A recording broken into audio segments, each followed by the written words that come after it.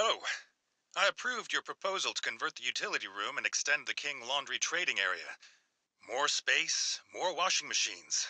It's a little obvious, but fine. Hopefully by now you appreciate laundry's vital role in the community and the modest but steady income it provides. Reinvestment is a sure path to success. Vielleicht ist das dein erster Schritt zu deinem eigenen Geschäftsimperium.